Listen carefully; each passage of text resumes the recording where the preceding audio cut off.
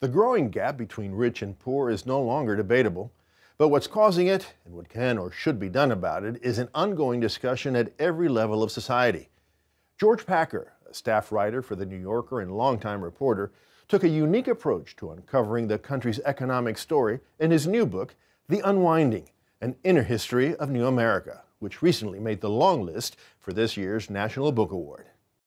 George, welcome. Thank you. It's a real pleasure to talk to you. It's great to see you. Now, uh, George, what do you mean by unwinding? I mean the end of a deal that used to exist um, among Americans that basically said if you hold down a job, if you educate your kids, there's a place for you in society, there's a secure economic place, there's a better future for your children. Uh, and you're sort of recognized as part of a, of a fabric. And I think in the last generation, that deal has, has come undone. And now we're more and more left to our own devices, and more Americans are left behind. There's an enormous opening up of inequality all over the country, um, which we also see here in New York.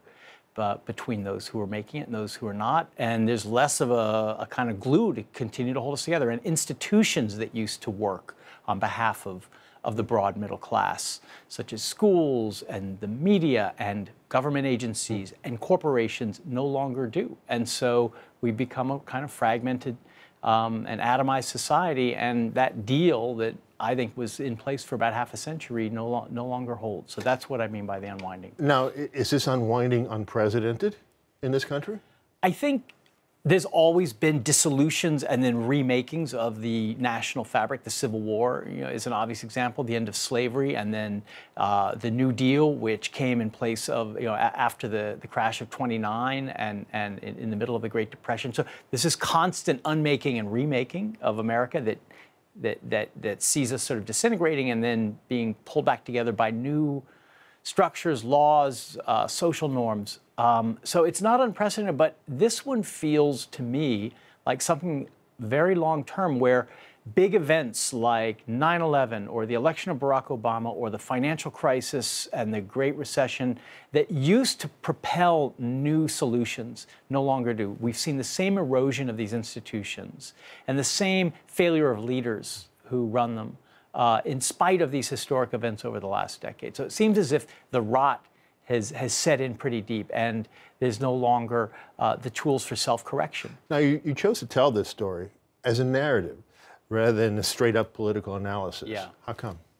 We have those books. There's some very good ones, you know, and I learned a lot from reading them. But I didn't want to write one more policy prescription book. I didn't think I had much to add to that conversation. We sort of know what the problem is, and we even know what some of the solutions are. Or if we disagree about that, then whatever I say is going to go in one ear and out the other. I wanted to get deeper into the almost the nervous system of the country to create a portrait of the past generation in America through the stories of a handful of Americans from around the country, from different walks of life, different uh, levels of society in order to get to something closer to the soul and, and to the, the deeper feelings of living in this period of an unwinding, rather than simply to have it pass through the brain and through the, the political reflexes. It's a political book, but it's really a book mm. about people and about how they mm. have been undermined and have tried to react and, and remake themselves in the middle of all this upheaval. Now,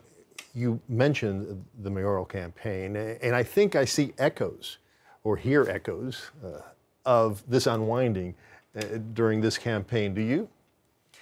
Well, Bill de Blasio has talked about um, the two cities and about inequality, and he's come up with some policy proposals to try to mitigate its effects. It's just there around us all the time. Uh, inequality is, I've called it this this invisible gas mm. that that you know you can sort of sense, you can maybe smell it, but you don't know what the source is, or you don't know how to shut it off. But it's there everywhere in housing prices, in the complexion of neighborhoods, in you know who can live where in public schools versus private schools in public schools versus other public schools we are becoming more and more polarized by wealth hmm. and um, it's you know th- there are a thousand reasons and then there are a thousand solutions but it's a bit like global warming it's there all the time and yet it's so vast that we seem unable to to actually begin to slow it down and reverse it. But I think it is reversible if uh, if we want to. And I, I guess a, a test of that will be if or when De Blasio becomes mayor, whether whether he can. Well, George, thank you so much. It's my pleasure.